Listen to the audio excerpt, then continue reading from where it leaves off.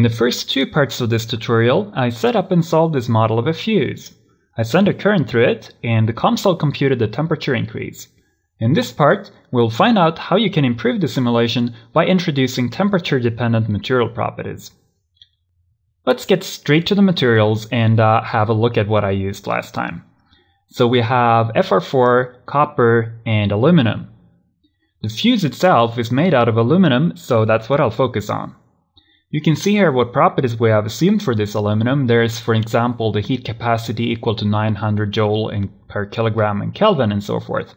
Uh, these properties are all constant values. Uh, keep in mind especially that we have an electric conductivity of roughly 3.8 times 10 to the 7th Siemens per meter. This happens to be a perfectly fine value for aluminum at room temperature. Now what happens in reality when we heat it up is a whole different story, and we should capture that in the model.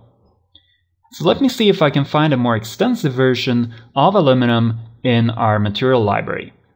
I'll browse down to material library, elements, and scrolling down just a little bit we'll find aluminum. Let me add that to the model and apply it to the same domains um, where we had the old version of aluminum before, the version with just constant material properties. Um, you'll notice that we no longer have constant values for these properties. Instead, we have these funky looking expressions. What are they? Well, let's find out. Uh, for example, the electrical conductivity is now specified as this piecewise function. Uh, we'll focus on the uh, part of the function that is for the relevant range of temperatures from 200 up to melting point. And I'll plot that. So what does that look like?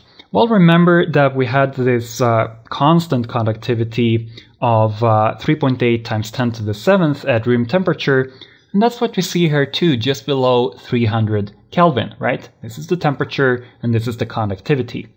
Now for higher temperatures, the conductivity decreases quite rapidly, and we actually end up at less than 1 times 10 to the 7th just before melting. So this is quite a difference uh, versus what we had before, and we should adapt the current to that. So before with this constant conductivity, we needed a 15 amp current to melt the fuse. Now that we take into account the decreased conductivity at higher temperatures, this should mean that we will need less current before it melts. Right? Well, that's something you may want to think about for a second. But let's just try it out. Um, I'll send in 9 amps instead of 15 amps as we had before. I'll just browse down to the terminal button and uh, I'll send in 9 amps instead of 15 amps and we'll solve the model again by clicking compute. And we have the result. A temperature distribution with a maximum just below 900 Kelvin, which is just a little, little tiny bit less than the melting point. So making this a two-way coupled multiphysics model, taking into account the true material dependency on the temperature, turned this presumed 15 amp fuse into something closer to a 9 amp fuse. That's quite remarkable.